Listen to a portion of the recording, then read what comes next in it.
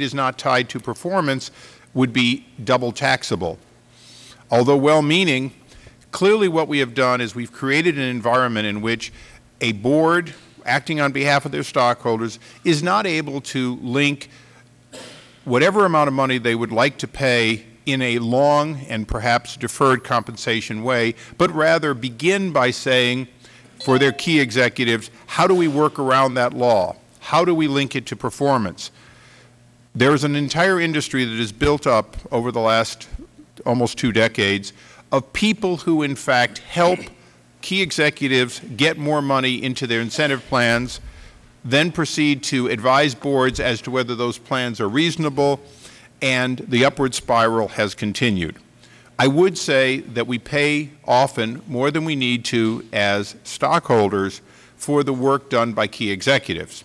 But, Mr. Chairman, that is not the issue before us today. The issue before us today is do the American people have a stake in seeing that compensation is limited by these seven companies in order to ensure timely repayment of as much or all of what we have loaned to these companies as possible.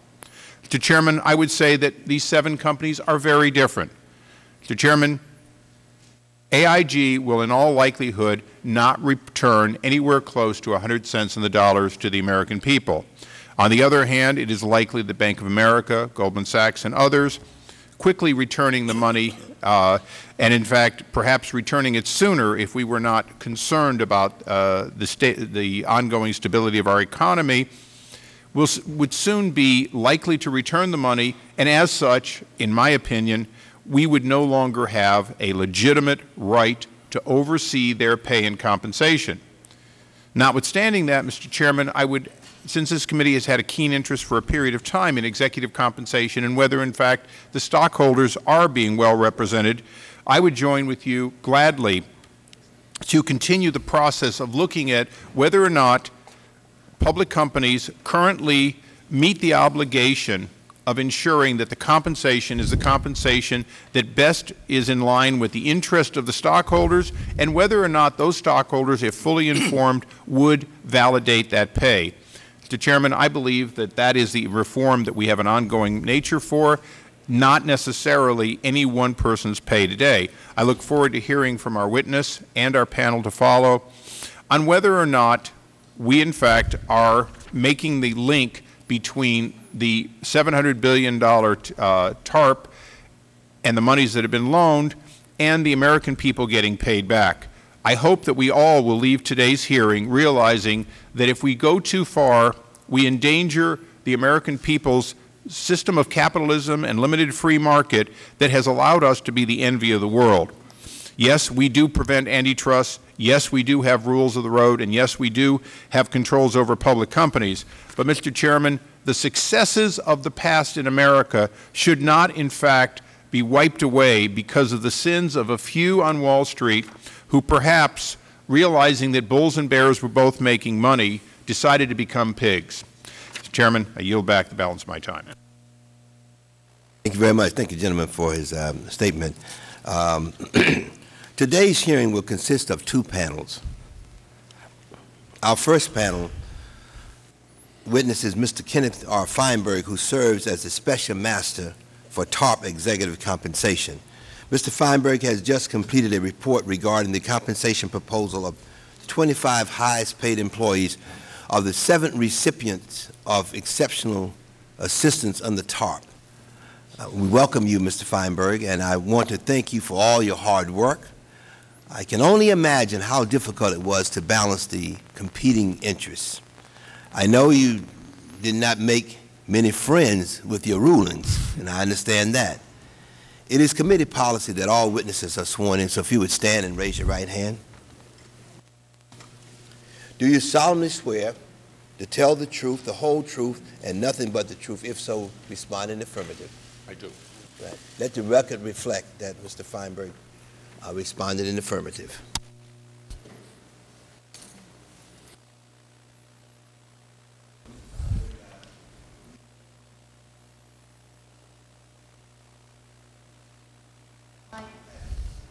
We generally uh, move forward with the lights on. We have um, starts at green and then it goes to yellow and it turns to red.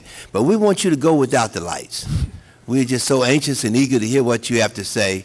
So why don't you just begin and of course, uh, uh, try to do it within 10 minutes. Okay. You- You may regret that, Mr. Chairman, without the lights. First of all, I want to thank you, Mr. Chairman, for inviting me, and the ranking minority member for inviting me. It's an honor and a privilege to be here today, the first time I've addressed a, a committee here in the Congress on my recent report of last week. I just want to mention at the outset, Mr. Chairman, I want to thank you and the ranking minority member once again for how much you helped me eight years ago during my administration of the 9/11 Victim Compensation Fund. Uh, the two of you and other members of this committee were extraordinarily helpful to me in meeting with the families and um, um, discussing with them the, uh, the benefits of the 9/11 Fund, and I thank both of you uh, really again for your help in that regard. I now have a new challenge, uh, executive compensation. I should say at the outset, one reason that this committee uh, hearing room is so crowded is virtually my entire staff is here. I don't think anybody is working today at Treasury from the Office of the Special Master, and um, I'm grateful for their uh, hard work and help. For the last five months, I have a narrow mandate under the law, and that was to determine pay compensation packages for the top 25 officials in just seven companies that received the most TARP assistance Citigroup, AIG, Bank of America, General Motors, GMAC, Chrysler, and Chrysler Financial. That is the limit of my jurisdiction. I have no authority, no mandatory jurisdiction to determine pay for any other than these seven companies. And even as to these seven companies, only the top 25 officials in each of those companies. The report, which I've submitted, which is now public, and which I've attached to my testimony, is a comprehensive report that explains in great detail the method I used and the conclusions I reached, strictly following the statute passed by Congress and the accompanying Treasury regulations. In your letter of invitation, you raised three questions for me to respond to in the course of this testimony. And I will summarize my response. My more detailed response is found in my written testimony. First, you asked what principles guided me in my decisions. The principles that guided me were the legal principles laid out in the statute and the accompanying regulations. Mr. Special Master, make sure that these companies, as the ranking minority mention, member mentioned, make sure these companies stay in business with compensation packages that will make them thrive, hopefully.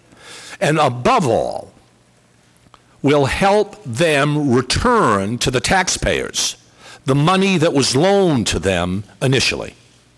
But the law also spells out that in establishing these compensation packages, I should consider various other factors. One, let's avoid guaranteed contracts, retention payments, salaries, bonuses, commissions, long-term severance packages, etc.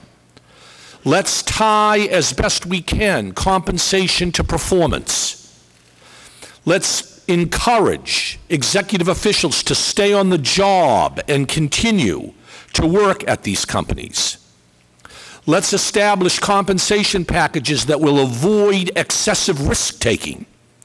These were all principles laid out in the statute that guided me in my work.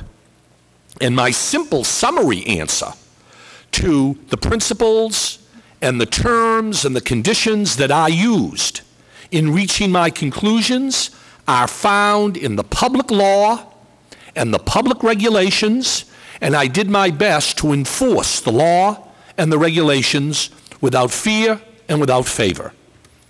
The second question you asked is uh, how did you go about determining the compensation packages? What was the process? How did it work? Um, where did you find the companies um, uh, acceptable? Where did you find their recommendations flawed? I requested and received comprehensive submissions from each of the seven companies explaining their view of what they thought they needed for their 25 top officials in the way of a comprehensive package. I examined those submissions with the utmost care and scrutiny, and I concluded that in six of the seven submissions, the information requested, the, the compensation packages urged on me by these companies were contrary to the statute, contrary to the regulations, and contrary to the public interest. They were contrary because each of the submissions, or six of the seven, wanted too much cash guaranteed salary. They wanted stock that would be immediately on the day it's issued, transferable. They wanted to tie their, their, their salary and their compensation to vague, ambiguous performance standards. They made no mention or insufficient mention of the perks that were part of their overall salary private airfare, golf club dues, country club dues, etc. And they demanded, as part of their submission, that I honor all old prior grandfathered contracts for compensation that were entered into with officials long before this law was passed and long before I arrived on the scene as the special master. So, what did we do in this report? We evaluated the submissions and then we made some what I think were material changes in the overall program. First, we greatly reduced the amount of cash that would be made available to these senior officials. We reduced that cash by approximately 90%. Now, I read with great interest in today's newspaper an article that's, that, that implied or stated that I had actually raised cash base salaries with a number of these officials. It all depends what you mean by cash based salaries. If somebody is getting cash salary guaranteed last year of 3 million and now they're getting under my program $300,000 in cash. That sounds to me like a 90% reduction. The article today cited one example of a Citi official where the base salary for that official, according to the article, was raised by the special master to $475,000, an increase of 111%. What the article does not point out is last year, that same official received from Citi $13 million in cash. And under my report, that cash was reduced by 98%. So I am very comfortable in defending my report and saying that overall, one of our primary objectives succeeded in this report for these seven companies was to reduce absolute guaranteed cash by 90%. Second, we required, in addition to the cash salaries, that when we issue stock in the company that is salarized stock, that is part of the salary, that stock may not be cashed out for up to four years. The stock can be cashed after two years, one third, three years, another third, and four years, the last third. We want to keep people on the job with a vested interest in the company. If you want salarized stock, the value of that stock is tied to the performance of the company and the goal, the, the ranking minority member couldn't have said it better. The goal is keeping the company moving so that the taxpayers get their money back. Third, we said no more unlimited perks. No more private jets, no more golf club dues, no more country club dues. Perks under the report are limited to $25,000 per individual. Anything more than $25,000, you've got to come back to the special master for uh, approval and monitoring of those requested excessive perks. Finally, what did we say with these companies about these old grandfathered contracts that are purportedly in the hundreds of millions of dollars? Well, we worked with the seven companies. They were very, very cooperative. Very cooperative.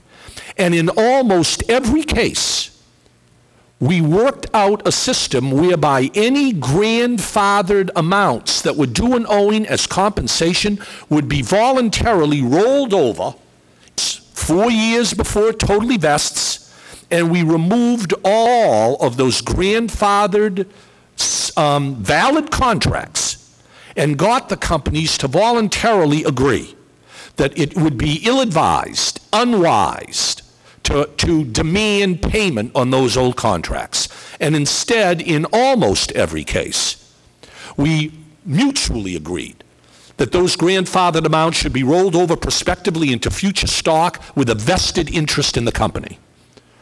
That is what we did, um, spelled out in some detail in the report. Finally, your letter of invitation, Mr. Chairman, asked me to comment on any recommendations I might have going forward in dealing with executive compensation. I should remind the committee that my first obligation, right now underway, under the law, is to design a compensation structure for officials 26 to 100 in each of these seven companies. Right now, we are actively doing that. By the end of this year, we will have designed and implemented not individual pay packages for 26 to 100, but overall compensation structure for employees 26 to 100 in these seven companies.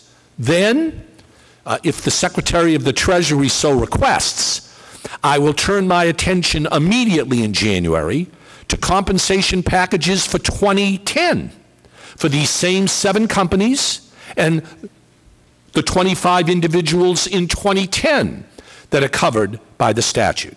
So those two objectives, 26 to 100, 2010, the law spells out expressly. Those are part of my ongoing uh, obligations. I want to just finally address a point that uh, the ranking minority member just made. I do not believe that this law should be extended to encompass other companies. The law was enacted to deal with the taxpayers of this country as creditors of these seven companies. And whatever one might think about whether or not it's a good idea or a bad idea for the federal government to be involved in setting compensation for private companies, I, I suggest that what Congress was stating was that this is an exception these seven companies are owned by the taxpayer. And the taxpayer, as creditors, are asking these companies to, to rein in compensation and come up with compensation packages that will maximize the likelihood, first and foremost, that the taxpayers will get their money back. And that is my primary objective. I do not believe, as the administration has stated elsewhere, that we should be micromanaging other companies in the private sector.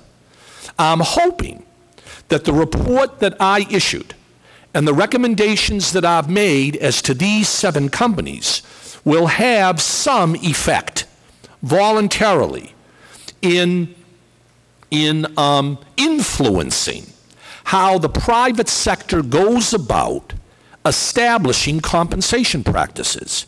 And my, one of my objectives is hopefully that with my recommendations, other companies on Wall Street and elsewhere will take to heart what I have suggested, what is mandated for these seven companies, and hopefully uh, the, uh, the model that is created in my report uh, will um, trickle and expand beyond these seven companies. But I agree with the minority member that um, I'm perfectly comfortable, thank you, limited to these seven companies, and uh, that's enough work for me, and I'm hopeful that uh, the committee will find my report helpful and useful.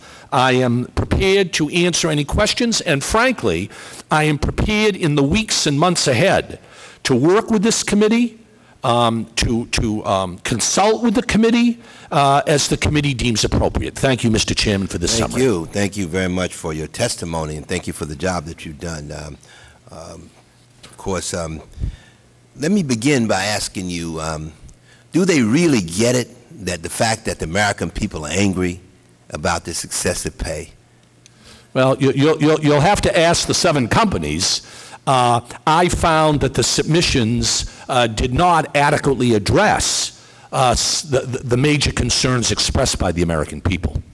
Right. How do you deal with the contract situation now, where you, person has a contract and, um, which has been signed, and of course, now all of a sudden, you, um, that you're asking that he gives back? I mean, what was the reaction to that, or how did you handle it?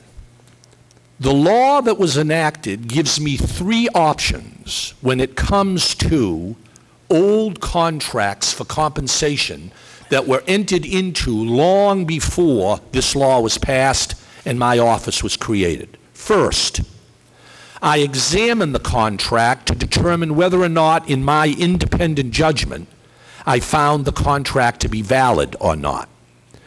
I want the committee to understand that the sanctity of contract under the Constitution is very, very important, and I was loath to find contracts invalid when they were entered into years ago between officials and the company. So there was not a case where I terminated or invalidated a contract. But that's just the beginning of the inquiry, Mr. Chairman. The law then said if I found a contract valid, I could, under the law, attempt with the company and the official to renegotiate that contract voluntarily. That worked very well. With, of, with, with, with one or two or three exceptions, in every single case, the company worked with me and my staff in renegotiating those old contracts so that they would be turned into stock in the company moving forward and would be subject to the same rules and restrictions as 2009 salarized stock. Then the law said if a company refused to negotiate a valid contract, and that was very, very rare, the law permitted me, I have to honor that contract, but the law permitted me to take that contract amount into consideration in setting 2009 salary. And that's what I did in those cases. You want that contract enforced? It's a valid contract. The Constitution protects it? Okay. But I am going to look at the amount of that contract, and I am going to factor into my perspective 2009, 2010 salaries the fact that you that we had to honor that contract because it wasn't renegotiated. And I think we've done that fairly successfully. Right. Thank you very much. And um, uh, this is on AIG. Can you do anything to stop AIG from paying nearly $180 million in bonuses next year to employees in the very AIG division most responsible for the failure of AIG? Um, that is the uh, Financial Products Division. Um, you pose a question which the special master will have to address very quickly in 2010 when those allegedly guaranteed contracts come up. And we're going to have to see with AIG, and, and let me just say, AIG has been quite cooperative in this process. We've met with them numerous times. Um, we will have to sit down with AIG uh, in 2010, in a couple of months, January. And uh, I am admonished by your question, Mr. Chairman, that this committee is looking at these contracts, and we will see what we can work out with AIG going forward uh, in an effort to uh, satisfy the statute, satisfy the regulations, satisfy the American people, and um, I view that as a top priority. Because you have to recognize, you know, um, uh, people feel that if you failed, that you should not be rewarded for your failure. And of course, um, and that's a big issue. And that's why the American people are so angry, because in many instances, the government is now bailing out people, and of course, who fail, and they're getting a, a bonus. I now yield to the ranking member, five minutes. Thank you, Mr. Chairman. Uh, I want to go through something before I actually wade into questions, just because I want to set the tone of this hearing so that it not be uh, in any way uh, confrontational. Is it fair to say, and I'm going to make the assumption it is, but I'll ask you for confirmation, General Motors was bankrupt, Chrysler was bankrupt, and their financial uh, divisions, their uh, GMAC and so on, not because of the financial crisis. They were already in trouble had a real problem with their cost of doing business, et cetera, and then they were caught up in that last nail in the coffin. So four out of your seven companies, it's fair to say, these are companies that, that are bankrupt and not even directly related to the collapse, but tangentially related to the collapse, and as such are under your purview. Is that fair to say? I guess it's fair to say, uh, Congressman, I, I, have enough problems focusing on executive comp without figuring out exactly what caused the bankruptcies, but I guess that the assumption in your question is accurate, okay. yes. And, and secondly, we own those companies because whatever amount we took, we took and do not expect to get it all back because we put a lot into them that is not coming back, particularly Chrysler, I think, notably. That's correct. Uh, or Chrysler division of Fiat, however you want to put it. So I'm going to leave those companies alone for a moment uh, and I'm going to concentrate on the big three. AIG is, when in my opening statement I said that AIG was unlikely to return all of the money. Do you share that with us, that you're trying to maximize the return but without an expectation that we're going to, whether we pay them a little or a lot, we're not probably going to get 180 billion back? I think that's right, and I think that in the submissions that AIG provided us and in our conversations with AIG, uh, that is a fair assumption. Okay, so again, we own 80 percent of AIG. We're not likely to get paid all, all back. You're managing it on behalf of the stockholders, which are the American people. Okay, we'll go to the top two. Citi, it now looks like, was really in a lot more trouble than people understood.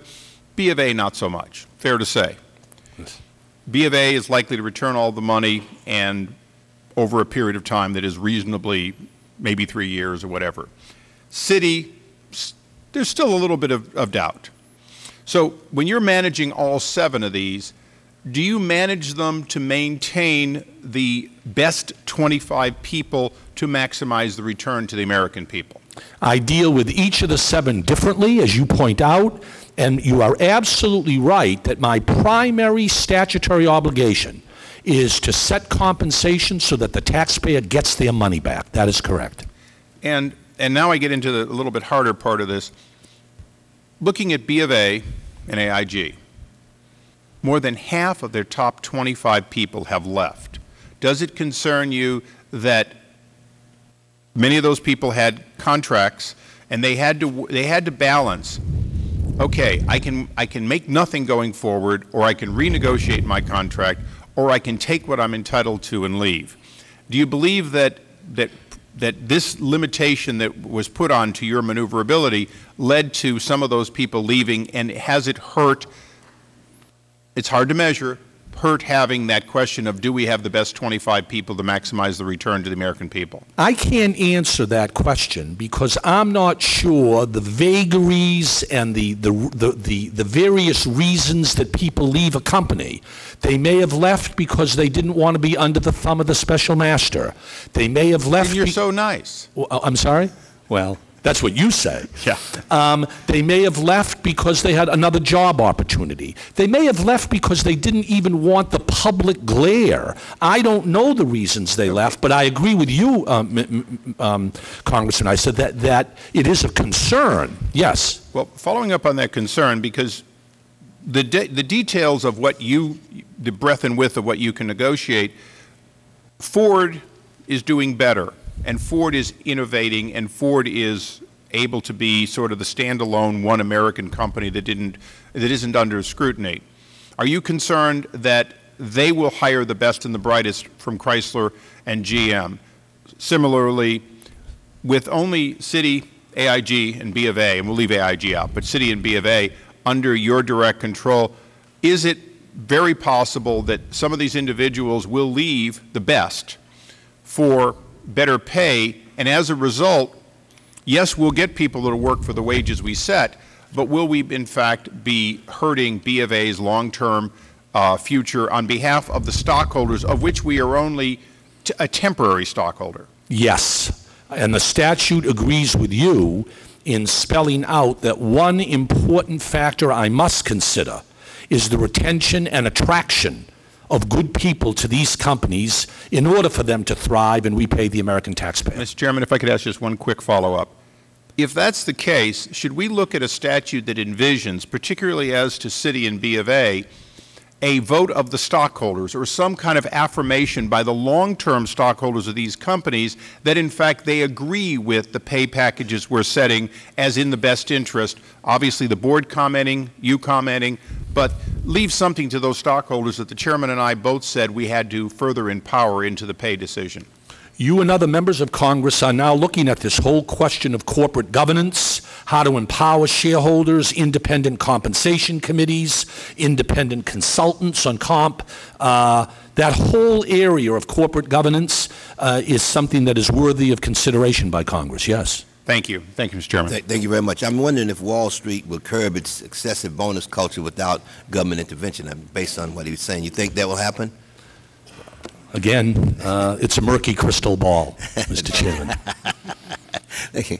Uh, Congressman Clay from Missouri. Thank you, Mr. Chairman. Thank you, Mr. Feinberg, for being here. I, uh, I applaud your diligence uh, in the difficult task that was set before you, uh, reeling in excessive executive compensation uh, is an important mission and is of great benefit to our economy and to the American taxpayer. Uh, I continue to be alarmed by the reported trends in executive compensation that expose the disproportionate uh, nature of corporate pay packages.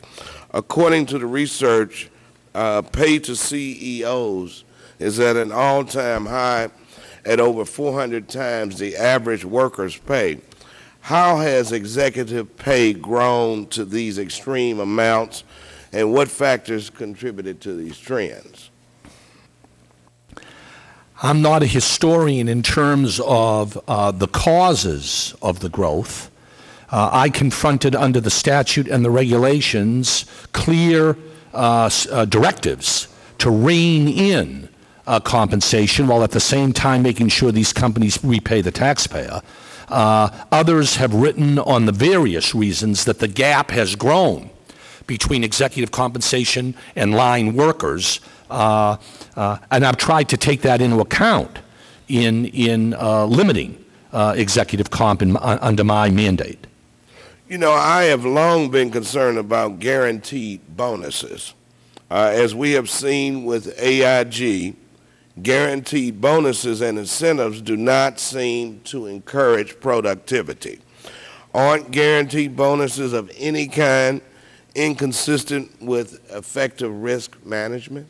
Well, I think they are. I don't know about of any kind. There may be some that haven't crossed my desk. But you will find in my report, I think it's fair to say, other than base cash salary, a complete rejection of the notion of guaranteed compensation. Uh, instead, we tie the overwhelming amount of compensation for these executive officials to performance, not guarantees, and have worked as best we can to eliminate guaranteed payments as part of any compensation package. In, in order to hold TARP recipients fully responsible, is there any possibility of nullifying prior payment obligations to executives? Yes, we've been very successful in doing that as I mentioned to the chairman and the ranking minority member, in almost every case where we confronted a prior guaranteed contract. We were able to negotiate voluntarily with the companies and get them to yield on that guaranteed contract and instead roll that amount into stock going forward over four years tied to performance. Have, have any employees or recipients taken legal action because of your, uh, be- because of those corporations' actions? No, No. no. Okay. Uh, We're very persuasive. uh, have the, the um, huge bonuses led to a, uh, a culture of entitlement? In other words, do executives now expect packages like this regardless of performance? I think huge guaranteed bonuses undercut performance. If you're guaranteed a huge cash salary, or you're guaranteed a bonus regardless of performance, or you're guaranteed commission payments regardless of sales, I think that what we learned is that undercuts the statutory directive that we tie compensation more to the overall financial health of these seven companies. And that's what we tried to do in the report. Thank you for your response, Thank Mr. you. Feinberg. Mr. Chairman, I yield back. Thank you very much, and now I yield to the gentleman from Indiana, Mr. Burton. Thank you, Mr. Chairman. Uh, Here's a quote by an executive from one of the companies. He says, "There's no question people have left because of uncertainty of our ability to pay. It's a highly competitive market out there. One of the things that concerns me is that you have top talent. And you said that you had some people that were making, what, $13 million, and you cut them down to 350,000 or something like that. Why would anybody in their right mind, if they're an executive for a company like that who has the talent to manage and run a company, why would they take a pay cut from 13 million down to 350,000? And does that damage the company? Absolutely, it would damage the company, and that isn't what we did. What we did is we took 13, uh, Congressman Burton, we took $13 million in guaranteed cash, reduced it to $350,000 in guaranteed cash, and told that executive, we'll give you $13 million, or $9 million, or $8 million, I don't know the exact amount, in stock. Now, you have a vested interest in that stock. If that stock over the next four years goes up, you may get more than, than Well, this. Let me, let me interrupt. So we tried to tie it. Yeah. Well, uh, if a person uh, has a, a, a, a contract, uh, and you said, I think you used the term alleged contracts, if they have a contract that uh, guarantees a certain amount of money, and you say you want them to renegotiate that and pay them $350,000, what would be the rationale for them to take the $350,000 and not go ahead with the contract and take their money?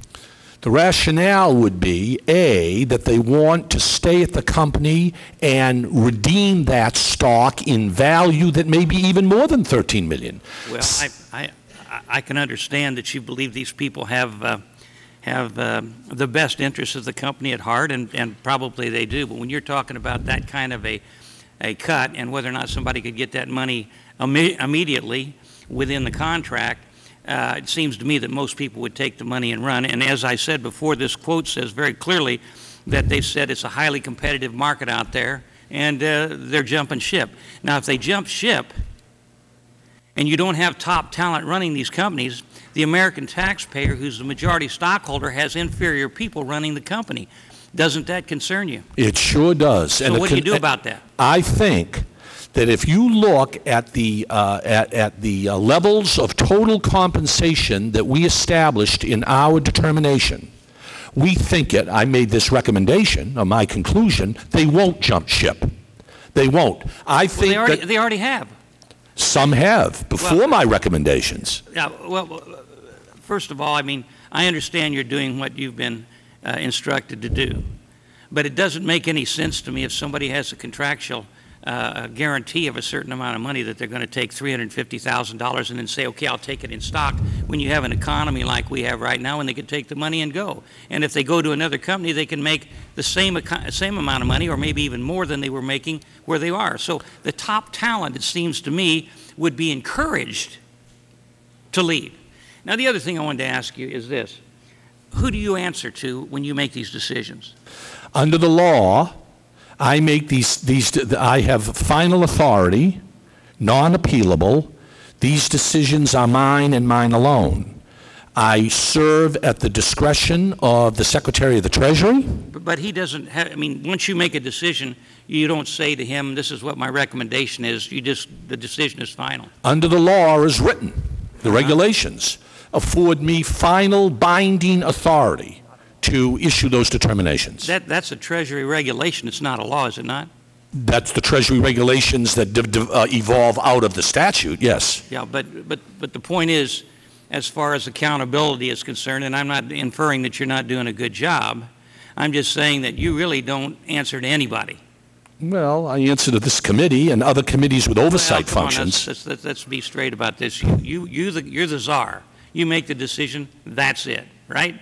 Under the law, I make the decision. Okay, so if these people leave these companies because they are not being compensated as was in the contract, and I'm saying, not saying they didn't make too much money and they were accountable and didn't do their job properly.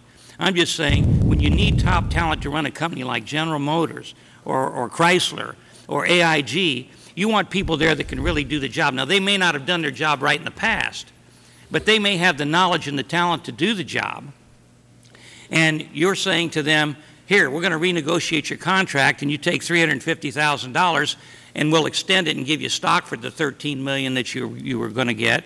And they say, hey, the heck with that, I want my money and I'm going to leave. And so you have people that don't have the knowledge and the competence to run that company. And so the stockholders, the American people, are in danger of seeing their money, the, the TARP money, going down the tubes because the company doesn't respond. My response to you, Congressman, is this. I have tried my best in this report to implement that statutory directive that they stay on the job and that the taxpayer get his money back. I'll defend these recommendations. Now, you may say, if I were doing your job, I would have a different level of compensation or do it differently. Fine. I did the best I could to try and maximize the very objective you're stating, which is keep these people on the job, and I think we've done that. Mr. Chairman, may I Yeah. have one, one final question, please? Yeah, I'd be delighted to yield to the gentleman an additional minute. The Federal, the Federal Reserve's issued guidelines under which the Fed would review if necessary or amend or reject the compensation policies of all banks regulated by the Fed. Are you familiar with that? Uh, that's just come out last week, yes. Yeah, that really concerns me because what we're talking about is you or somebody going beyond where you are right now and regulating people that did not get TARP money simply because they're regulated by the Fed. What do you think about that? Congressman, my limit, what I'm doing are these seven and only these seven companies. What the Federal Reserve is, is proposing or whatever is not on my watch. And uh, um, you'll have to ask the Federal Reserve about the, the scope of those regulations. Thank you, Mr. Chairman. Thank you. Thank you very much. And, and now yield um, five minutes to the gentlewoman from Ohio, Ms. Marcy Kaptur.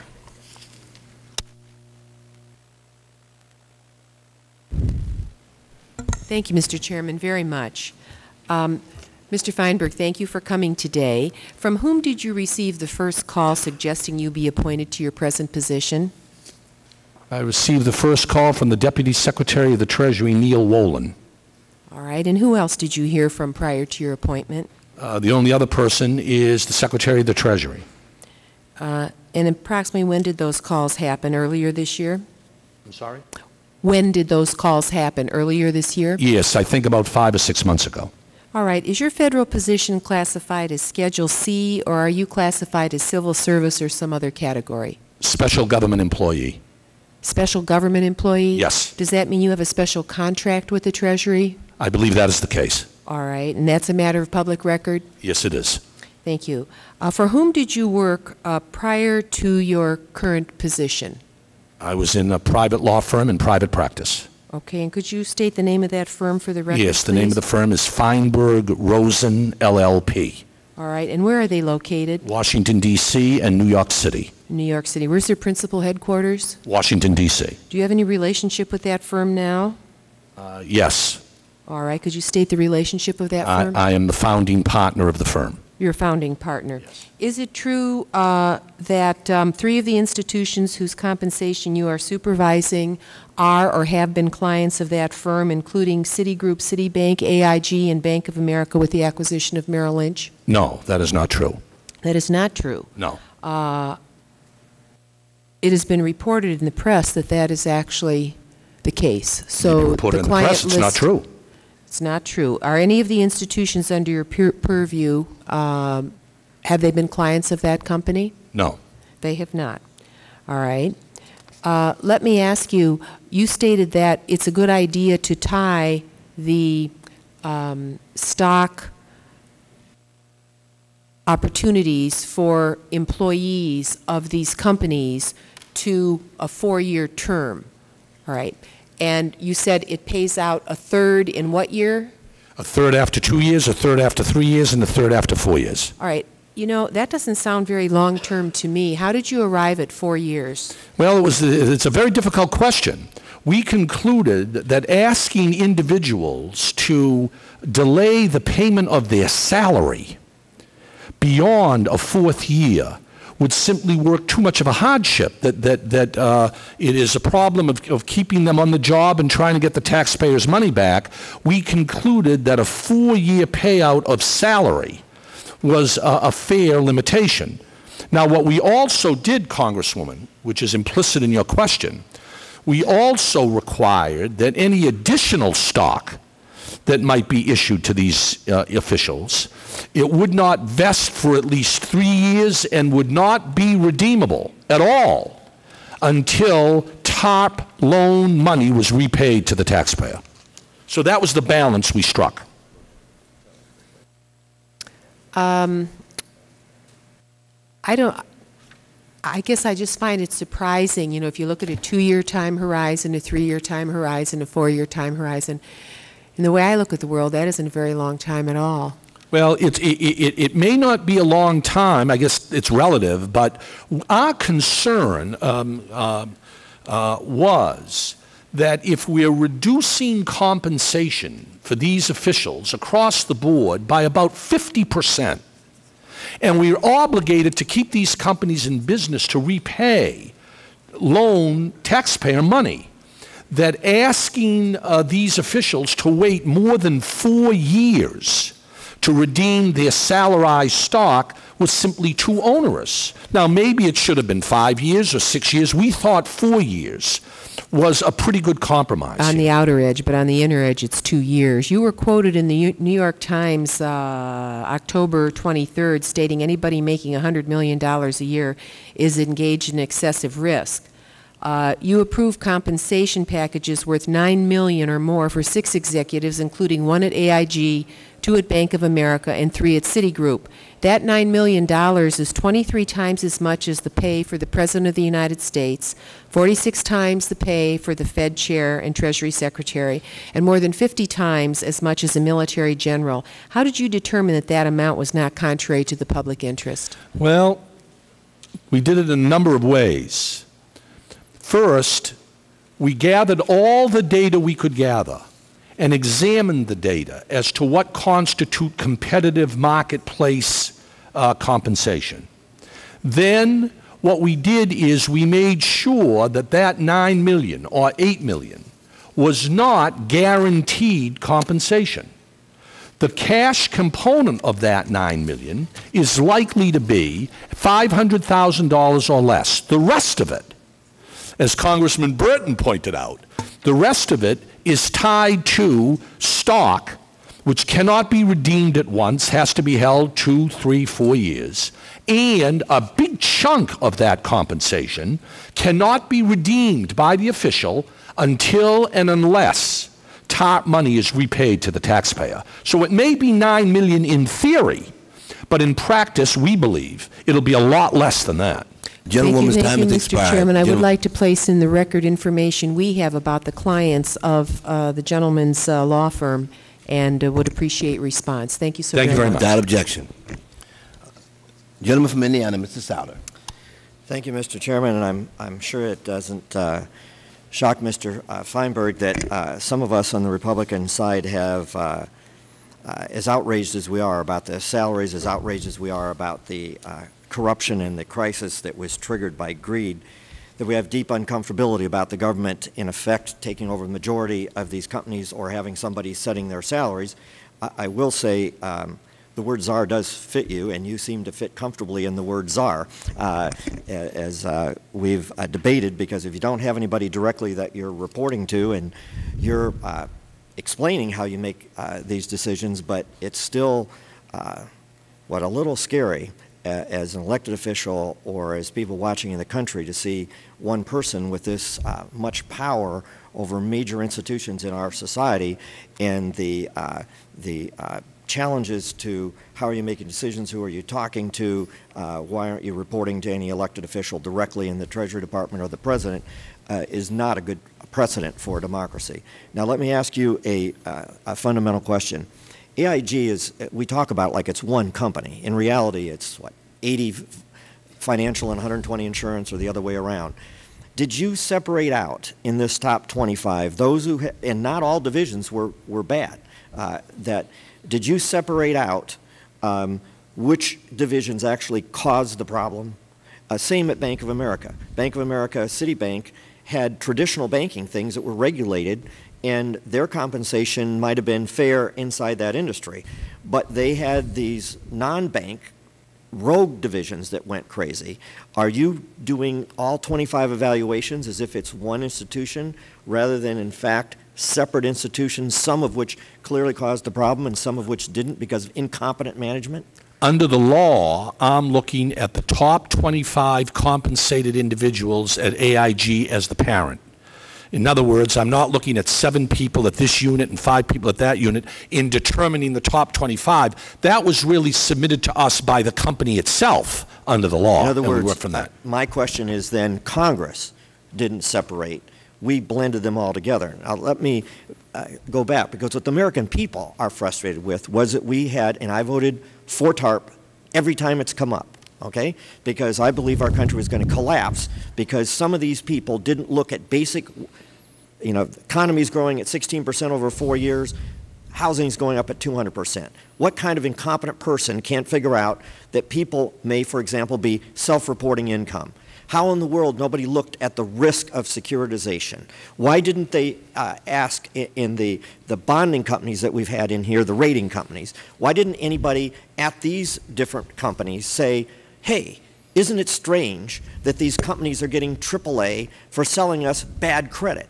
Why were they only checking 10 to 20 percent and then paying bonuses if you cleared these? The question I have is, are we aimed at the wrong thing? Why are we looking at compensation here rather than do you think we could have looked at? Because one of the questions, oh, we have to pay these people this or they'll go to another company. What about stigma here, that you were incompetent?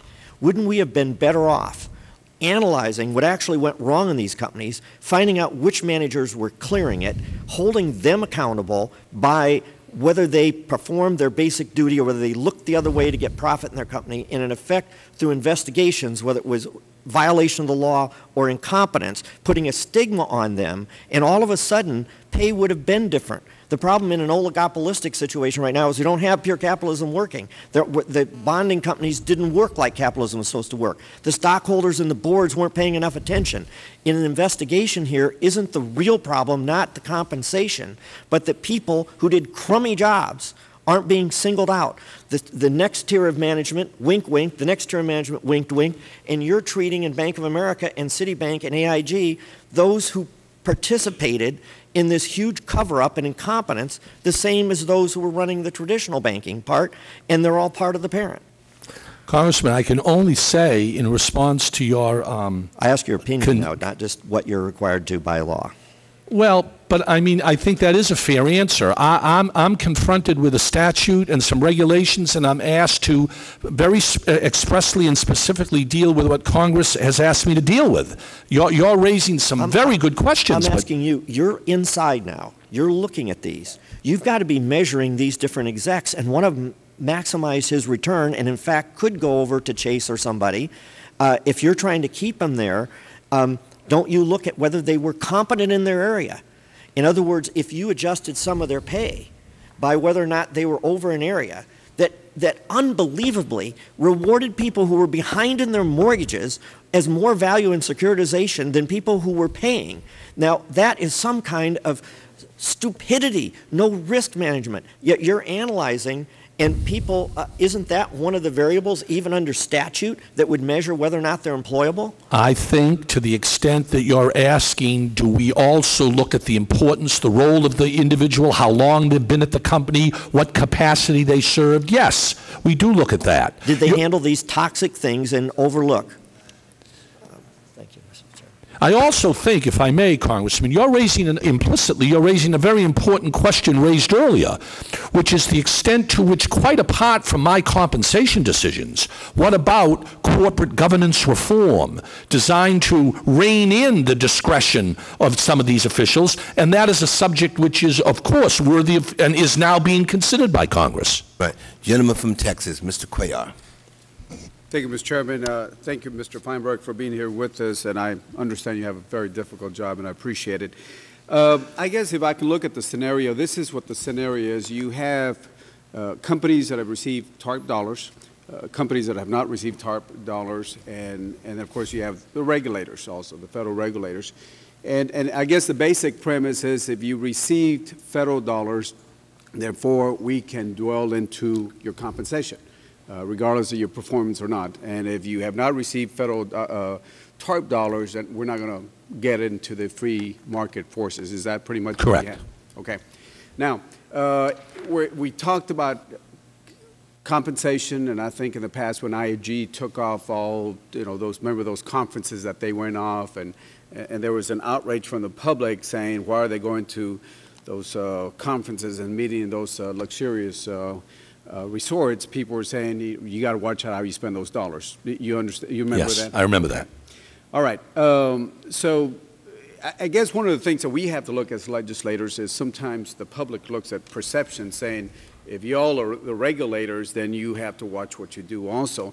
Um, and I'm just reading something that just came out in the Washington Post. Uh, I believe that, uh, I think it was on October 19th, uh, the uh, Fed Chairman Ben Bernanke and I think about several of his employees went to a October 19 it was on October 19, San Francisco Fed Conference on Asian and Global Financial Situation.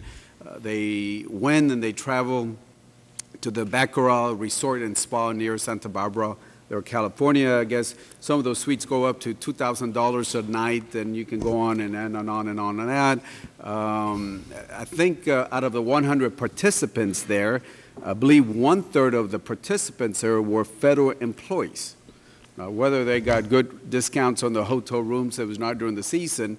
Uh, you know, I guess, and I know that's not under your watch, and I don't mean to put you on this, but I guess that's one of the things we got to be very, very careful because if you have TARP, non-TARP entities, and then you have the federal regulators saying you got to watch what you do and spend the money, we just have to be very careful how we regulate. Any comments without you going too much I, I completely, I, I can completely agree with your comment about being careful. I assure you that the Office of the Special Master is very, very cognizant of your concern about image and how it looks with the regulators. And um, I can't speak for the Federal Reserve, but I can tell you that our office is very cognizant of that concern about perks and excessive uh, compensation, travel allowances, et cetera. Thank you very much. Thank you. And now you have five minutes to the gentleman from North Carolina, Mr. McHenry. Thank you, Mr. Chairman. Thank you, Mr. Chairman. Uh, thank you, Mr. Feinberg, for your testimony. I appreciate your how candid you are. Um, and uh, I was saying to a colleague that uh, your extreme confidence is uh, necessary with the extreme job that you have. Um, but I also appreciate you just being frank with us, and that's what we need. Um, now, in, in terms of, I just want to touch on a couple things quickly, and I've got some other questions, but um, you report to the Secretary of the Treasury. He's your boss. Is that Correct. correct? How often do you meet with uh, Secretary Geithner? Uh, I've met with the Secretary probably three or four times in the last five months. In, in the last how many months? Five months. Five months. Okay. Um, so every other month, roughly. Okay. Um, and and in in terms of um, this discussion about cash, okay? In your in your testimony, you discuss cash, okay? And when people hear that, and when I read the Wall Street Journal story, I think that the language differential here is important, the distinction. You're talking about cash as your daily, your monthly salary or weekly salary, however they pay. And then if you get a cash bonus at the end of the year, that's your cash package, correct? Correct. Okay. Now, the Wall Street Journal story that you reference in your opening statement says that you raise the base pay for, for uh, 89 individuals, you cut it for a couple others, you left it the same for others. That is their base salary that they receive monthly. Is that correct? Uh, that, that's what the Wall Street Journal says. My, my definition of base salary is quite different. My definition of base salary is not only what you get twice a month, but also drawers that may be provided you over the course of the year, guaranteed commissions, guaranteed bonuses. The example, Congressman, that the Wall, that the uh, news article referred to said that in one case with Citibank, I had raised the base salary to, uh, by 111% to $475,000. I pointed out earlier to the committee that the total cash that that person, that official received last year was $13 million, and I reduced it by 98%. And, and that, that $13 million figure is not uh, any stock awards. That was cash. That was cash. Cash. Okay. All right. I just want to understand this distinction because I read here, uh, I read in the Wall Street Journal one, one story, and then I hear a testimony which is different. I just want to understand. You're talking about that twice a month. Their comparison here is the twice, twice a month pay or monthly pay to what you're now setting as their monthly pay. I guess that's right. It's unclear to me in that story Okay. what they mean. So what you're looking at is you, you would up that base uh, uh, guarantee uh, in that factor, but the rest you're, you're, you're having with stock. Now, I'm right? also eliminating all cash guarantees, like bonuses guaranteed regardless of performance, like commissions guaranteed regardless of sales, like any other type of cash guarantee, those are completely eliminated under my program. Okay, I want to I want to discuss a larger issue here.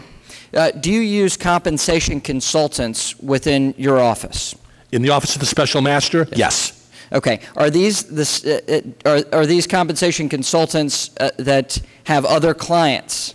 No, How- they're, no, they're, uh, they may have clients that I'm not aware of. They're both academics. Both academics. Okay. All right. Now, in terms of compensation consultants, there's been a lot of discussion about this. Okay, but I think there's another piece here, which is the tax ramifications for salary and bonuses. Have you encountered this as a challenge in dealing with these institutions? We certainly have. Can you discuss, t- because we're in Congress here, we set the tax rules. What can we do to make the tax code uh, more effective so that executives' actions are tied to shareholders' interests? Well, that's a, a complicated question about the tax code. I'd have to get back to you on that. I can tell you that you're absolutely right, Congressman, that, that we run into these problems every day in establishing deferred compensation. You know, it, it may vest today under the law, but it's not redeemable for two years, three years, four years. What are the tax consequences of this? And we've run into that problem. And I'll be glad to, uh, you know, get back to you and lay out some of the tax uh, issues that have arisen in the course of my five months on the job. I'd, I'd certainly appreciate that. I will. Uh, finally, the, the, the number of 25, okay? I, I find it arbitrary. Do you find it arbitrary? yeah, of, oh, it's, uh, Okay. of course you- it's, have it's you- arbitrary. Have you encountered this as a problem where you have two executives, one makes marginally more than the other, uh, one's the number 26th executive, the other's the number 25th, and then perhaps you have a class of people that, that are very similar to what uh, the, the 20th or 25th executive that, that fall under your purview. Have you seen anything uh, with currently that you have the, the 26th executive making more than the people that you have you've just given new rules to. No, we haven't seen that yet. Of course, we haven't got to the new top 25 in 2010, Yeah. which may vary. Uh, we haven't seen the problem yet of uh, the difference between number 25 and 26. What we are seeing is the arbitrariness of 26 to 100 when the hundredth person is cut off at 100 and there may be hundreds or thousands of employees at 101 and 102 and 1,000 and 5,000 and 10,000 that are subject to the same compensation structure. So we're running into that problem a little bit, but hopefully we'll be able to come up with a program that'll take that into account. Thank you for your time has testimony. expired. And, Mr. Chairman, if I, if I may submit for the record, uh, a question I have about, com- uh, about contracting out uh, services that are not under your purview as well. Right. Without objection, so ordered. Now recognize the gentleman from Vermont, Mr. Welch. Uh, Thank you very much, Mr. Feinberg. I thank you, and I thank your, your staff for the tremendous work that you've been doing. We, I think we all really appreciate it. Uh, I have, I have questions in two areas, but first a brief statement. Uh, Trying to figure out what's the, quote, "right level of compensation," obviously, ultimately, uh, is an arbitrary decision. Uh, But there's been a premise in corporate America that the more you're paid, the more you're worth uh, disgraced uh, and incompetent executives who walked away with hundreds of millions of dollars, Stanley O'Neal, Richard Fuld, the list goes on, uh, have proven that to be wrong. Uh, And I think the two concerns that we have here in Congress are, one, what compensation practices are going to drive a constructive business model so that bankers make money by lending rather than ripping folks off on kite schemes like subprime mortgages. And then number two, uh, with respect to the taxpayer bailout, uh, which uh, was presented to us uh, as something that had to be done even if we didn't want to do it. How can we get some of that money back for the American taxpayer? And uh, this isn't in your purview, but it's a question I want to ask because you probably have more practical experience on this than anyone in America, and certainly more than any of us on the committee. Among the TARP recipients was Goldman Sachs. They've since paid that money back with interest.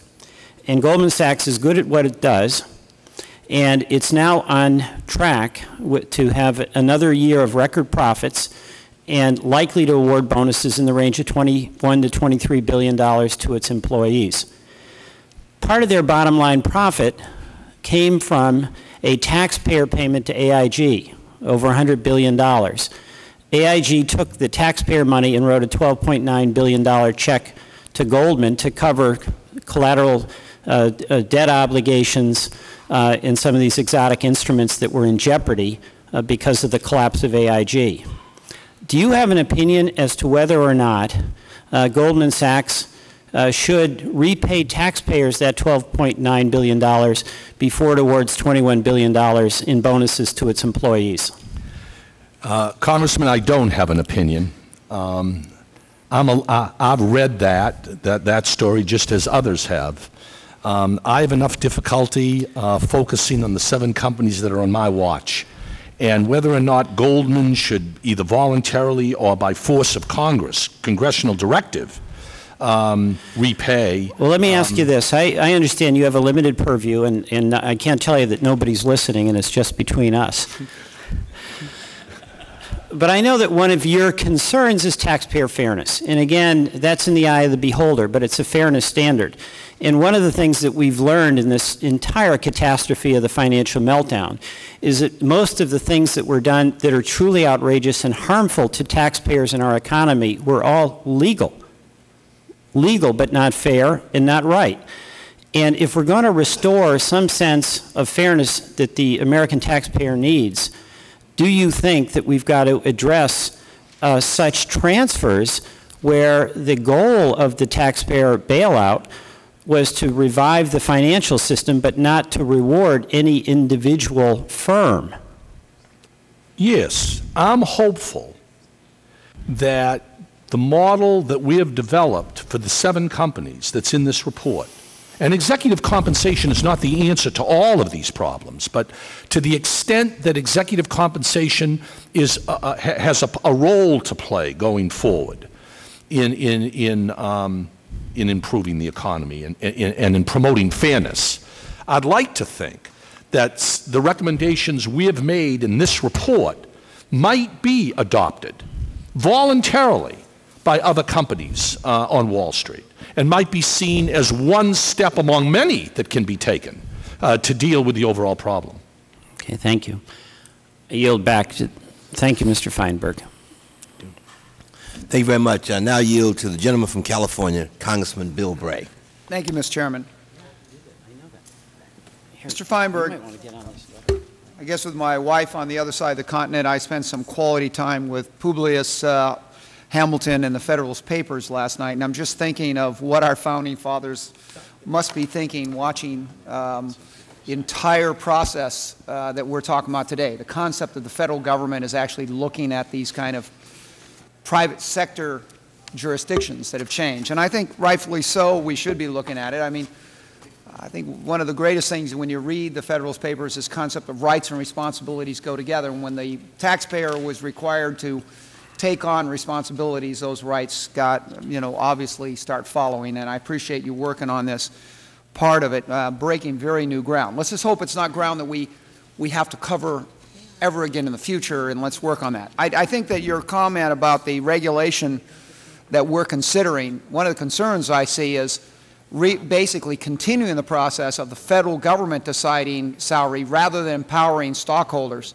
who are actually the ones who bear the financial responsibility and should have that. Wouldn't you agree that is the vehicle that we probably should be looking at is those who pay, play, and be determine who get I think that's right. As I said earlier, the asterisk to that general view, which I share, is that at least as to these seven companies, Congress spoke and said that since the taxpayer is the primary creditor of these seven companies who received the most TARP assistance, as to these seven and only these seven, there should be more monitoring and determination of pay. because rights and responsibilities, the, fi- the fiscal responsibility um, leads the, the, um, the right to be able to intervene.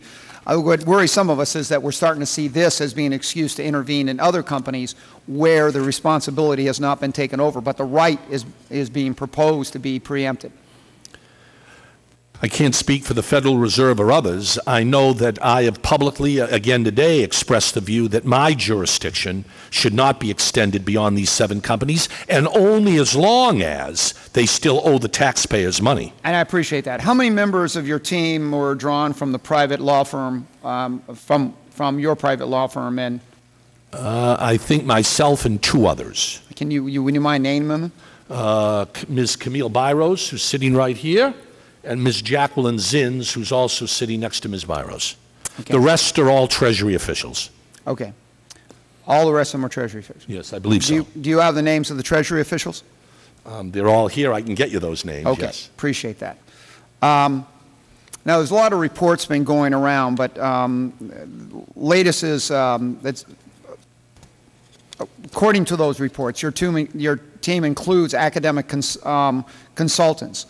Two, uh, Professor Ju- um, Lucian Bebchuk from Harvard and Professor, uh, Professor Kevin Murphy from the University of Southern California. Hey, Great, I appreciate that, and that's the kind of clarity I think that President Obama really wanted to set as a new example. Rightfully so, pointing out the previous administrations have not been as transparent as we hope, um, and that creates concerns that really, so many times, just don't need to be there. Um, the, um, at this time, will you provide to the members of this committee the names and the, um, the subjects and the venues of uh, all the individuals that you rely on to work out this, this issue?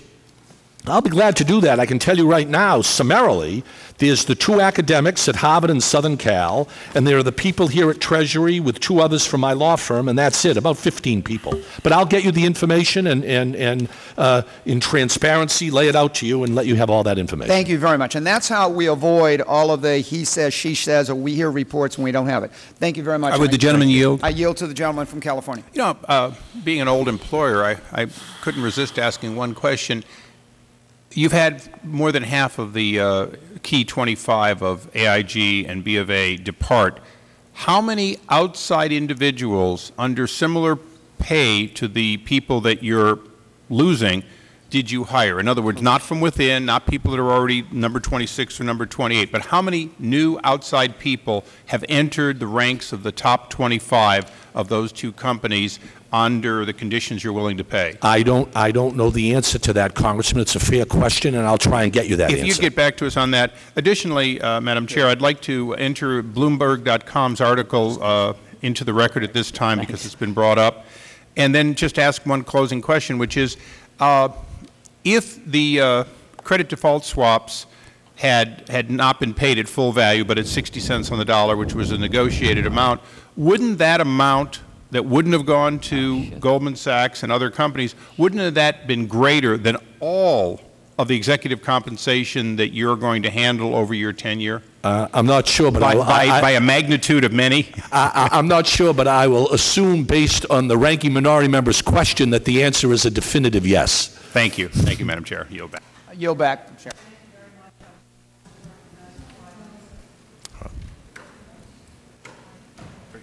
Okay. Mr. Foster is recognized for five minutes. Um, Thank you, um, Master Feinberg, for appearing today. I really appreciate it.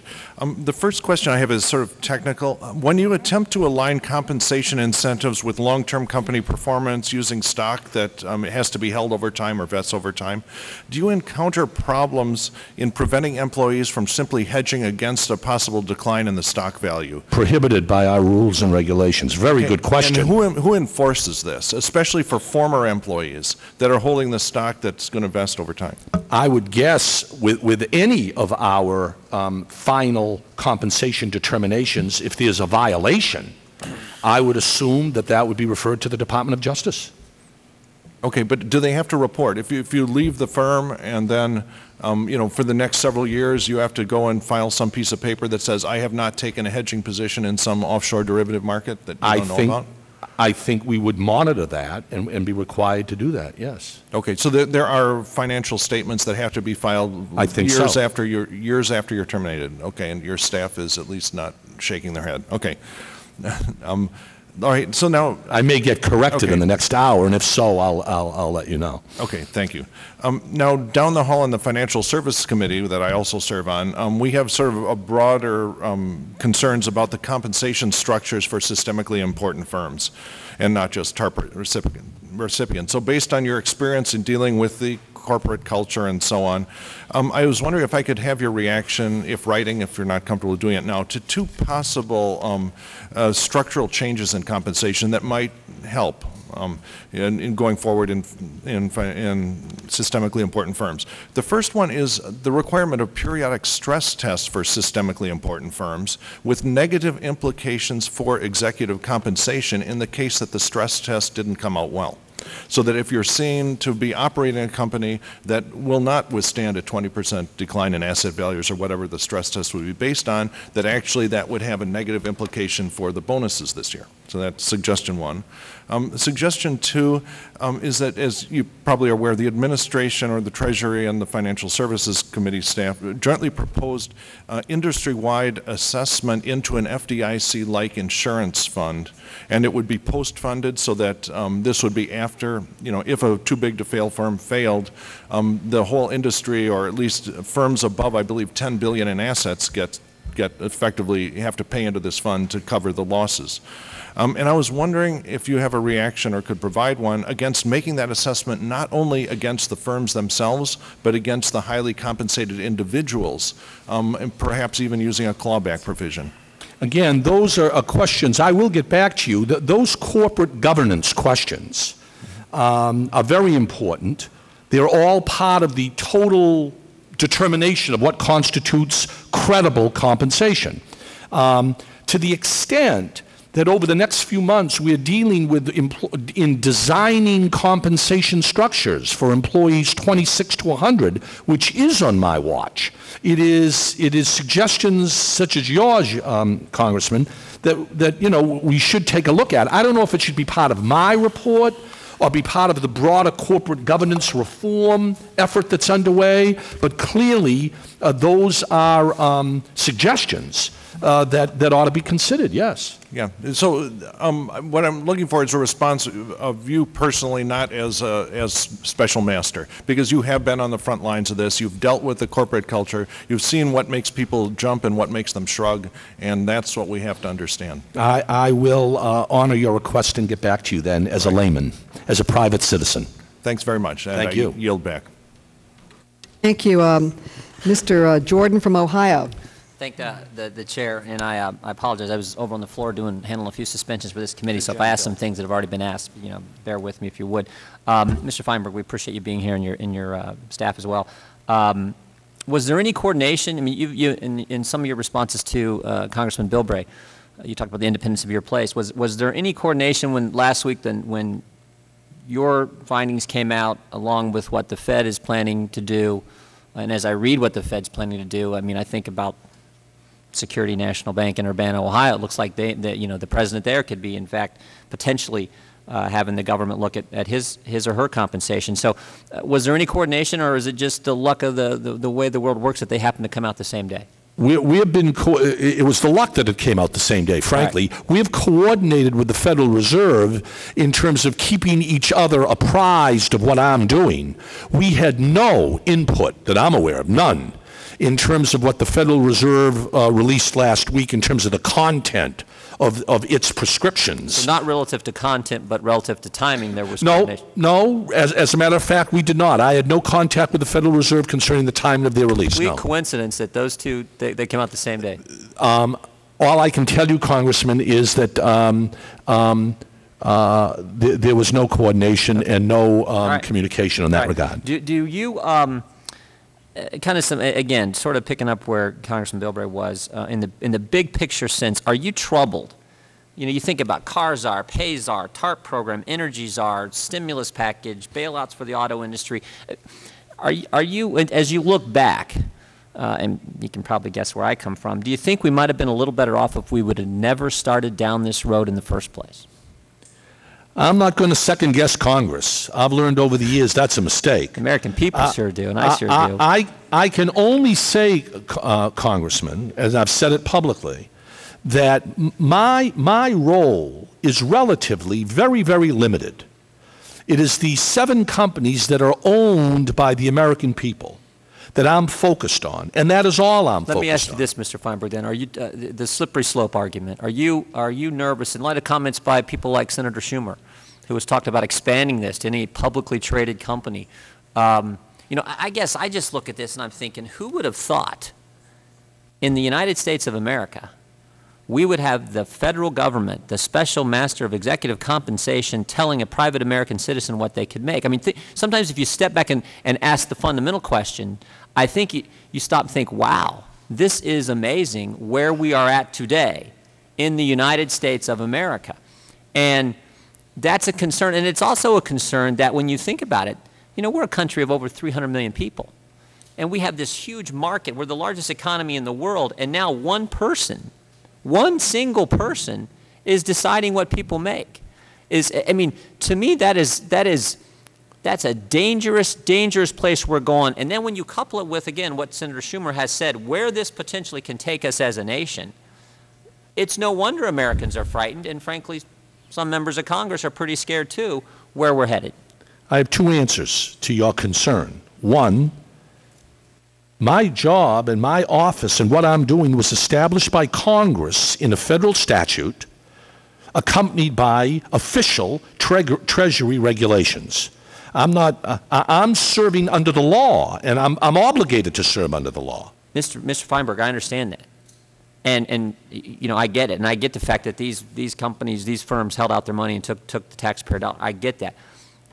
My question is, does it trouble you as the person who has that responsibility, where it could potentially lead, and the, the implications of taking this step when you already have members of Congress, frankly, important members, influential members like Senator Schumer, talking about where it goes next? I am troubled, uh, and I say so in my public statement. I am troubled at the notion that my role currently with these seven companies, uh, I am troubled at the notion that it might, that, that it could be expanded. Well, it's important That that is you- a mistake. It's important that you emphasize what you said earlier. It stops here. Because, I mean, that's what scares people. And, and I think that, God bless you for saying it, but it's important that you, you, that you stick to it. Now, let me ask you one quick question. I have a couple seconds left. Um, it seems to me that, that the administration is going to great lengths to keep you, you know, they, you know, you met with the Treasury Secretary a couple times. You don't meet with the, with the, with the Obama administration. So tell me about that. Tell me the relationship you have with uh, Treasury Secretary Geithner. I have an excellent relationship not only with the Secretary of the Treasury, I'd like to think, but with the with other officials at Treasury and at the Federal Reserve in terms of consulting with them concerning these decisions that I'm making, suggestions that I'm making. They have been extremely cooperative in offering their advice to me at my request. Ultimately, the decision's mine, but I have sought out a wide range of views. The academics that I mentioned earlier, that are our consultants, uh, individuals at Treasury, individuals at the Federal Reserve, in an effort to come up with a report that I think is balanced, that is fair, and most importantly, complies with the statute and the regulations. Thank you, Thank Madam you. The gentleman's time has expired. Uh, Dr. Chu. Thank you, Madam Chair, and uh, thank you, Mr. F- Mr. Feinberg, for um, testifying before us today. I know you have the limited purview of these seven companies, but uh, Goldman Sachs, J.P. Morgan Chase, and Morgan Stanley, of course, had substantial loans. They've paid it, paid it off since, and they are no longer under executive pay restrictions. However, uh, with their profits recovering from the government bailouts, all three firms are expected to make huge payments to their executives this year. And in fact, um, according to Attorney General Cuomo, Goldman earned 2.3 billion in 2008, yet paid out more than twice that amount, 4.8 billion in bonuses. What authority would it take to stop such negligent and uh, reckless behavior? What could we do to stop this? This is Well, very th- upsetting to the American people, as you know. That, that, that is a, a huge legitimate question. What authority? Uh, uh, historically, the authority has been the self-regulating marketplace. Now, to the extent that um, that's supplemented by the Federal Reserve, by the regulators like the SEC, the FDIC, um, that is a subject that Congress may want to revisit. I, I want to emphasize my reluctance to attempt in any way to broaden my jurisdiction beyond these seven companies where I'm trying to collect money uh, representing the taxpayers as a creditor. I'm not saying it's not a legitimate concern. I'm just saying that um, it, it's a subject that goes well beyond my jurisdiction, it seems to me. Well, uh, there is one company, GMAC, which is um, under your jurisdiction, and it has already received 12.5 billion of TARP money. However, uh, they are asking for a third bailout. And how do you plan to ensure that the additional 5.6 billion dollars that they're requesting doesn't go towards these unscrupulous compensation practices? Um, we, are, we, are, we, are, we are very vigilant in making sure that the compensation practices that we have articulated in this report um, are fair, are reasonable, and um, will be paid by GMAC to its employees as part of this program.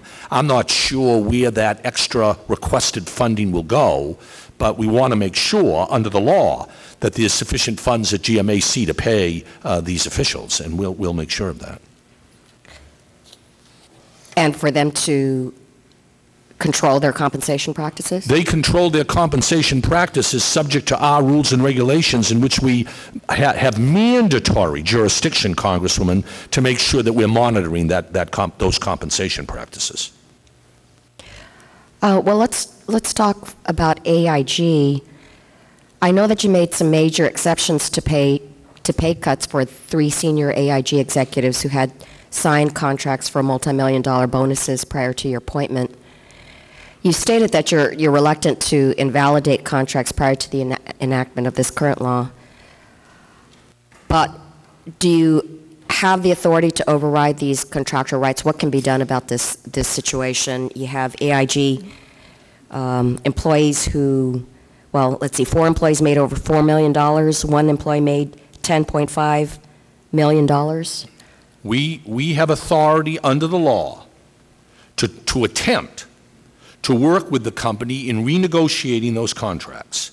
We've been successful in almost every case, although that's the exception that you have referenced. Three individuals at AIG. What we did with those three individuals at AIG, they had a contract, they insisted on um, honoring that contract. They had every right to insist on honoring that contract. And therefore, under the law, I took those contracts into account in reducing their 2009 compensation. Beyond that, I had no authority to act. And I think that, uh, uh, that that's what I did under those circumstances. Okay, um, well, there are alarming findings that executive compensation is actually increasing, even though there is this outrage by, by Americans. Um, now that you've had the experience with these seven companies, what would be your rec- recommendation on a going forward basis? I think going forward, we will continue. First, to implement the recommendations in our report that call for a reduction in cash compensation of around 90%, a reduction in overall compensation of around 50%, cash plus stock. In addition, I am hoping, uh, and we've also reined in perks. We have also tied compensation to longer term performance. And I'm hoping that our recommendations will be followed not only by these seven companies, which are required to follow them, but I'm hoping that some of our recommendations will voluntarily be adopted by other companies seeking to improve their compensation practices. We shall see. Thank you. I yield back. Ladies' time has expired. Mr. Cummings is recognized for five minutes, to be followed by Mr. Connolly. Mr. Feinberg, I want to thank you for your testimony. And I've listened to you very, very carefully, and I do believe that you have done what you've been instructed to do. I, I, I, and I think you've done an outstanding job. Thank you. Let me just try to get down to where the rubber, rubber meets the road. You know, I think part of the reason why this is going on, why you're doing what you're doing, what, why the Congress asked you to do what you're doing, is so that, and you've implied this in your testimony, part of the reason is to try to get other companies to do this beyond the seven. And I have had an opportunity, I know you got maximum cooperation, I think you said, uh, with AIG, and I've had an opportunity to meet with the former head of AIG, Mr. Liddy, and to listen quite a bit to what he had to say. And I read the papers just like you do. I have absolutely no confidence, none, that the things that you're able to do, and it has nothing to do with you. There is a culture on Wall Street that will cause them to reduce salaries. I mean, consistent with what you just said a minute ago. And I mean, in your, in your, I mean, and, and you're a very bright and straightforward person. I mean, what do you see? What, I mean, what would cause them to even do it? Because my dealings with them is like we're on two different planets. They have, I think that when they talk about multi-million dollar bonuses, it's like shoe shine money to them. And I'm serious. And so, and they, when you talk to, I talked to Mr. Liddy about my constituents who are being thrown out of their houses because of foreclosure, losing their savings, everything, and they still they still wanted to give money to the financial products division, and to not to seem to not even have a clue or not give a hoot about these folks, and at the same time handing out millions. I mean, it, I, I just can't see how, with all your fine work, that is going to be turned around. I just don't. I mean, I, I've been around a long time. and number two, I was wondering what advice do you have conversations with the president? And because let me tell you, I believe that the American people, in order for, for in order for um, all of the things that the president's trying to do to right this economic ship,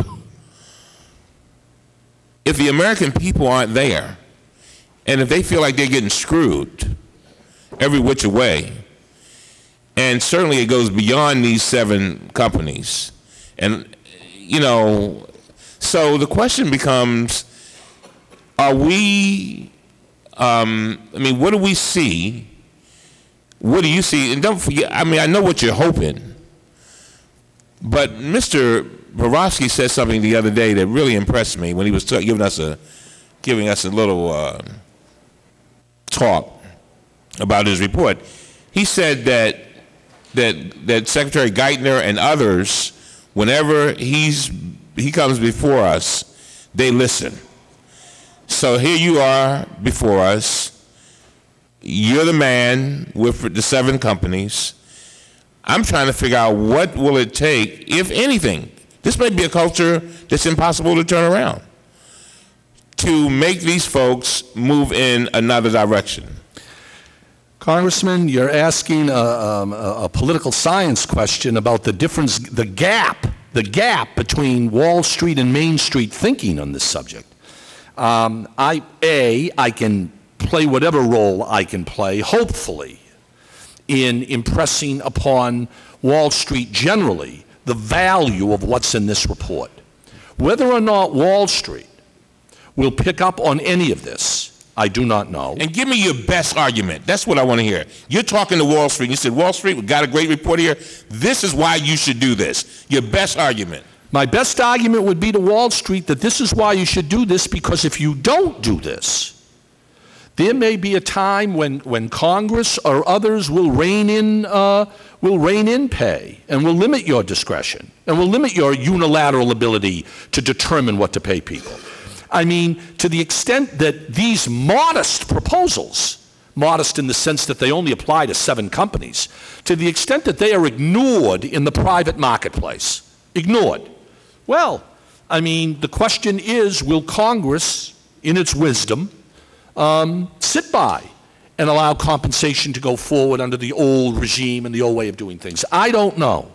I, I've got enough problems, as you've witnessed this morning, dealing with these seven companies and, and um, um, suggesting that my role should definitely not go beyond these seven companies uh, to um, express a view on what global decisions should be made by Congress to try and rein in Wall Street. That is a subject of uh, uh, beyond my, my jurisdiction and one that uh, I wisely don't want to get near because I don't want to undercut my credibility and my effectiveness in terms of dealing with these seven companies. Thank you very much, We- Chairman. We, we might need another master to do that. Congressman Connolly. Thank you, Mr. Chairman, and Mr. Feinberg, thank you for your willingness to serve.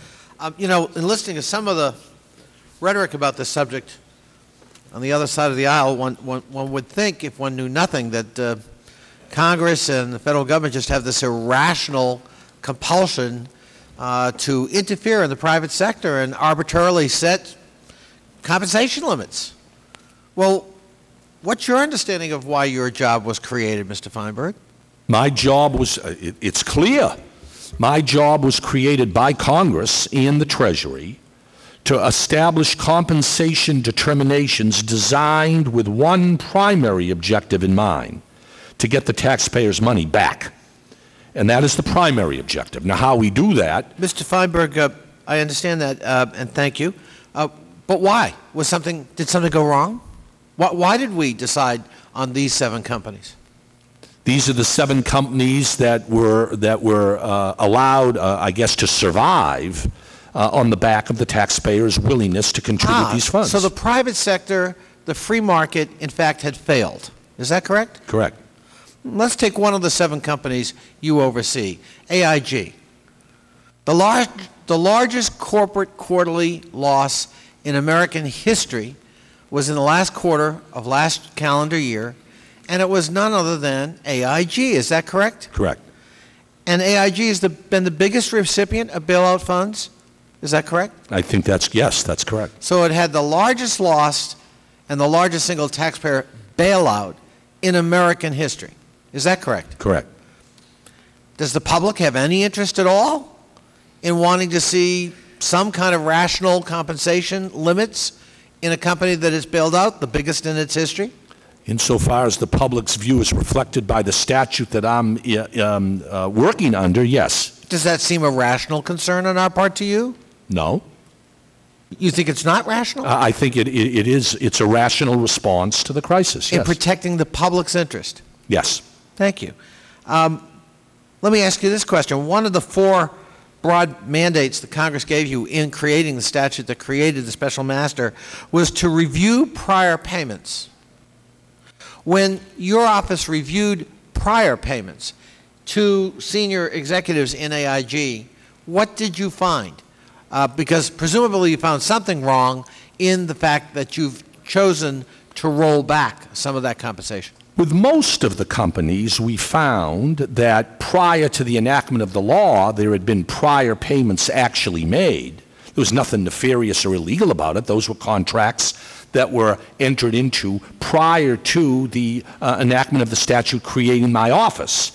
What we did find going forward under my tenure, we did find that there were pending payments that were obligated to be made under prior contracts, and we were able, through negotiation with the companies, in almost every respect except two or three cited earlier, to get those contracts voluntarily um, invalidated. And instead, we rolled the amounts that were involved in those contracts into prospective performance-based stock. Ah, performance-based. Yes. When you looked at compensation, prior compensation, and in your report you're submitting today, looking forward, I assume that there's some rational basis for your coming up with the recommendations you came up. For example, we've heard some rhetoric here today that would seem to suggest that the sky's the limit. We have no business even talking about limiting executive compensation, even in companies we've built out. Um, but, and you, you agreed that within some reason, any limit is arbitrary. I think that's right. I mean, But would you not agree, however, if I said uh, the CEO's compensation in Company X ought to be 200% of Company X's entire profit for the year, that would be an irrational compensation, would it not? I think it probably would. So, so it's not entirely arbitrary. Oh, no, it's not. Our our decision, our decisions weren't arbitrary. Our decisions absolutely were based, uh, I think, were based on a reasonable evaluation of the data and the anecdotal information we received from the institution, the seven companies. I would defend my report as being not at all arbitrary, but very, very principled, very rational, and very reasonable. Now, people may disagree, but I think it is clearly uh, a reasonable and defensible report that was submitted uh, to the Secretary. And you used the words performance-based. Could you just elaborate on that? Because that's where we get into the rational or arbitrary here. It's tied to some kind of rational expectation of perf- financial performance on the part of the company. Is that correct? That is absolutely correct. We rejected out of hand the notion that regardless of company performance, there should be guaranteed salaries, guaranteed bonuses, guaranteed commissions, guaranteed perks, guaranteed, guaranteed, guaranteed. And what we said in our report, and what I recommended, is that the, the era of the compensation guarantee is over. And instead, other than small cash-based salaries, the remainder of the compensation package should be tied to performance. And not only tied to company performance, but tied to company performance over a period of time so that you cannot simply short the stock, sell it after a year, roll it over. You've got to hold it for up to four years. And then we're hoping the long-term benefit of holding that stock will tie the official's compensation to the overall value of the company as reflected in the stock. In addition, one other point, we also offered up the notion of longer-term incentive-based stock in addition to salary. But that stock cannot be redeemed. It cannot be sold until and unless the taxpayers get their money back. That's the, the formula we tried to use to correct what we thought in our report uh, were the problems with executive compensation practices in these seven companies. I thank you, and Yeah. my time is up, Mr. Chairman. Thank you. Right, thank you very much. Mr. And Mr. I hear one minute from the gentleman. Oh, I appreciate the chairman. Yeah, I just want to make a point on my, my friend and colleague from Virginia. Um, They talked about the private sector failing. I think this is important to understand. Well, the private sector didn't fail. We had, we had some institutions that had some major problems, but to argue that the private sector failed is just, in my judgment, fundamentally wrong. Certain institu- institutions fail in the private sector every single day in this country and across, this, across, across the planet. That's part of capitalism. That's part of what the problem is. Once we start down the road, that's when we get into all these questions and all these problems. Yeah, thank you very much. But let me just say this before I yield to the gentlewoman from New York, uh, that, you know, there's a lot of concern about these folks who fail going to another company. You know, I'm not sure that anybody would be too excited about hiring people that fail. I mean, you know, I don't, I don't think you have to worry about that too much. You know, they run one country in the ground, uh, one company in the ground, and then you expect to get big money to go to another and do the same thing. So I, I I don't know if that's a real concern. Well, we hear the argument all the time, and the argument goes, you know, you, you've expressed one view, and, and ranking minority members expressed a view.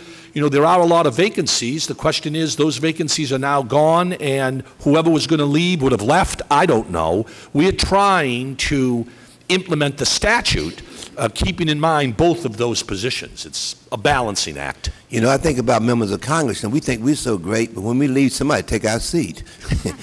and they do real well. Uh, I yield now five minutes to the gentlewoman from uh, New York. Thank, thank you, Mr. Chairman. And first, I'd uh, like to welcome Mr. Feinberg and uh, mention his truly outstanding work as a special master for 9/11 during a very uh, difficult period in our country with a very difficult topic. You did a very fine job. Um, I, I'd like to ask how we are faring internationally in terms of our compensation compared to foreign countries. We are in a global market now. We are competing with uh, firms across the world. And, and how does uh, U.S. executive pay compare to, say, pay in Japan and in European countries? I'm not, I, I can get you that data, Congressman. I can tell you that what I do know is that there's been a great deal of recent G20 and other cooperation between Treasury and the Secretary and other companies in, in other countries in trying to come up with a common set of international standards governing compensation. How, how much American compensation varies from Japan or Germany or Italy, I don't know, but I can certainly get you that data. I- I'd like to, to know, and uh, I, I also have read that the United Kingdom um, adopted say and pay rules uh, or shareholder vote on executive pay. And uh, are you aware of that? And has that made any difference in, in pay scale? Or have you followed what's happened in the United Uh, Kingdom? Again, I think that's of recent vintage. I will, again, try and uh, secure some information concerning the impact of that uh, in the United Kingdom. And uh, the United Kingdom's uh, five largest banks have reportedly agreed to abide by the G20 executive compensation rules. And have U.S. banks uh, likewise agreed to accept these uh, conditions, and which include an independent compensation committee and clawbacks for poor, for, for, for poor performance? Uh, Not on my watch, I don't know. Uh, I'm limited to these seven companies. Uh, And again, at the risk of um, um, disappointing you, I will uh, get you answers to these questions, Congressman. And um, do you, are you aware of any other legislative fixes or actions that we should be taking in, in terms of uh, tying executive pay more to performance? Well, that, that raises the whole question that I've discussed earlier about corporate governance and, and, and what Congress is considering, as I understand it, in both the House and the Senate, concerning both corporate governance reforms in federal legislation and um, uh, corporate um, uh, regulatory reform. And both of those uh, subjects certainly are part of the overall concern about total compensation, even though those two subjects aren't directly part of my jurisdiction. Okay, the, the law gives firms the right to appeal within 30 days of the compensation determination. And, and do you anticipate appeals? And if so, how will they be conducted? I haven't received any appeals as yet. Um, I'm hopeful there won't be any appeals. If there are under the law, we will certainly give due consideration to those appeals. But as of yet, uh, as of today, uh, Congresswoman, we don't have any appeals. And, and the New York Times reported that Citigroup, as well as other banks, continue to offer grant guaranteed bonuses to employees. And, and does that uh, violate the Treasury regulations? It all depends whether those employees that are getting those grants, allegedly in the New York Times, fall within my jurisdiction of 1 to 25 or 26 to 100. Um, Citigroup and other companies under my jurisdiction, uh, at least legally, have the authority to um, um, act independently if they're not part of my mandatory jurisdiction. Now, I could, under the law, issue some advisory opinion uh, uh, if I knew more about uh, such, such uh, bonuses, and we'll, we will look into that.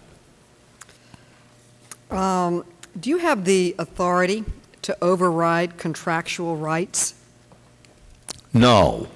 If the contractual rights are found by my office to be valid, legal, and binding, then we, we give due deference to the Constitution and the fact that the sanctity of contract should be recommend, uh, should be upheld. But, as I said earlier, we do have under the law two ways to deal with these old contracts that might be found to be valid. One, we can seek to renegotiate those contracts with the company. We've been very successful in doing that and getting the company to voluntarily yield on those contracts and roll it over into performance-based stock. Second, if a company refuses to um, voluntarily modify the contract, we can take those contracts into account in establishing prospective compensation. So we do have some weapons at our disposal. Thank you. My time has expired. We've been called to a vote, and thank you again for your service to our nation. Thank you again, and Congressman, thank you for all your help on 9/11. Uh, you were a stalwart in convincing your constituents to come into the fund, and I will always be in your debt for that. Thank you. Thank you. Thank you very much, and let me thank you for your testimony. You were an outstanding witness, no question about it. And we want to let you know we appreciate that, appreciate the work that you've done, and uh, we really, really want to continue to stay in touch with you as we move forward. Because, as I indicated early on in my opening statement, the American people are angry, and of course, you're helping to sort of calm them down. Thank you so much. Mr. Chairman, you and the ranking minority member need only call, and I will be up here as soon as possible. Thank, Thank you you. all very much. Thank you very much. Thank you. Uh, now, our second panel.